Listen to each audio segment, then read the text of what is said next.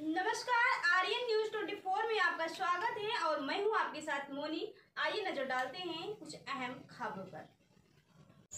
सास ससुर को बहू ने चप्पलों से पीटा, वीडियो वायरल। सास ससुर ने पुलिस से की शिकायत कानपुर के घाटमपुर क्षेत्र पतारा में एक बहू ने सास और ससुर को चप्पलों से फेर दिया। ग्रामीणों ने मारपीट का वीडियो सोशल मीडिया पर वायरल कर दिया।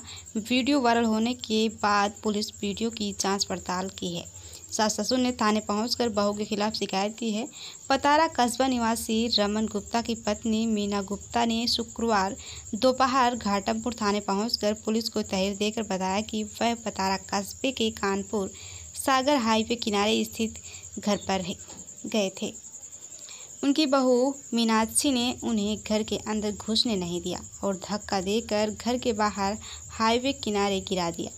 साथ ही चप्पलों से पिटाई शुरू कर दी। इस दौरान पति रमन ने बचाने की कोशिश की तो बहू ने उन्हें भी धक्का दे दिया।